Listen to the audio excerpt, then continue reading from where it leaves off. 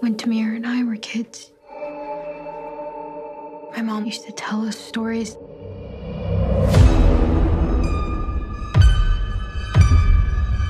The ayah said never to sleep with a bad feeling in our hearts because there's a dark thing that feeds on those feelings. What is the deal with Tamira? Is she doing all right? My stomach drops every time she like appears out of thin air like that.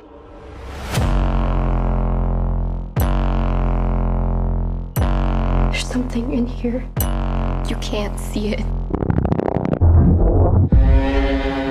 But it lives inside. Don't you hear it? You let it out.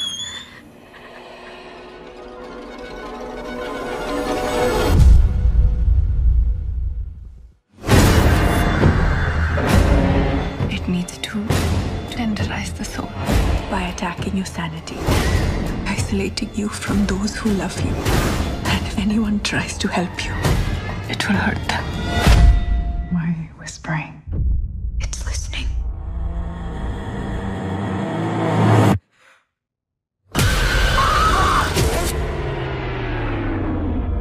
It's called the Pishach. It doesn't kill you right away.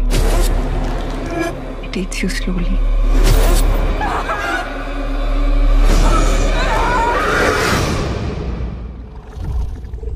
When it's ready,